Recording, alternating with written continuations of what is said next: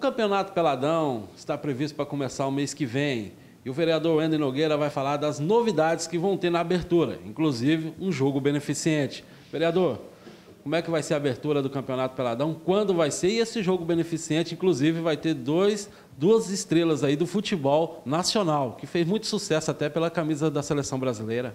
Isso, Cleiton. A gente vai. A abertura do Peladão vai ser no dia 4 de, de maio, no sábado. Vai ser um jogo com a molecada de abertura é, da Escolinha Primavera contra a Escolinha de Espigão. É, e depois da abertura da molecada vai ter o jogo é, beneficente entre Alex Dias e Amaral. Alex Dias, que fez sucesso no Vasco, artilheiro de várias competições do Brasil. O Amaral, é, conhecido pela sua marcação forte, né? Todo mundo conhece, foi até a seleção brasileira, rodou é, ídolo no Palmeiras, rodou também pelo Vasco, pelo Corinthians, jogou em quase todos os clubes grandes do Brasil e também do mundo. Então eles vão estar aqui no sábado às 17 horas fazendo um jogo beneficente.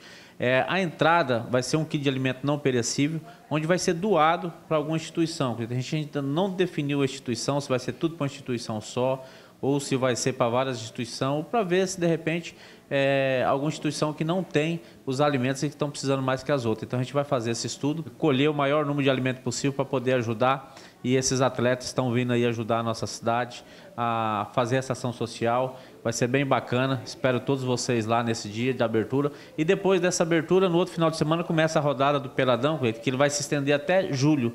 A última rodada final vai ser no mês de julho, acho que no dia 7 de julho, num sábado.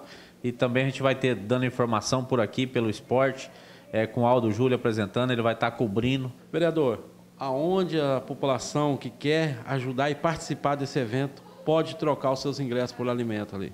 Então, Cleiton, a gente vai estar, as empresas parceiras que vão estar fazendo essa coleta dos alimentos e trocando por ingresso, vai ter um ingressinho, você vai se dirigir até essas empresas e lá você vai pegar, levar o seu alimento e pegar o ingresso. É a Cressol, que fica ali na frente do Cândido, é o Rolão Material de Construção, que fica ali na 25, é a System, que fica aqui atrás do anfiteatro, e também, deixa eu pegar aqui no celular, Cleito, que é bastante pessoal. A FASP, lá na faculdade, os alunos da FASP podem pegar e deixar lá também trocar. E também o supermercado Santa Helena e a Zomotos, que é na frente do, do, da Bioforma. Então, essas empresas que estão parceiras vão estar lá como centro de, de levar os, os alimentos para poder ficar mais centralizado para o pessoal. E também no dia quem não tiver levado nas empresas nesse lugar, no dia também vai estar sendo feita a coleta lá. O importante é participar e contribuir para uma grande festa, que na verdade é uma festa social, né, Cleita? A gente não tem lucro nenhum com isso, é simplesmente para poder fomentar o esporte e também fazer o social.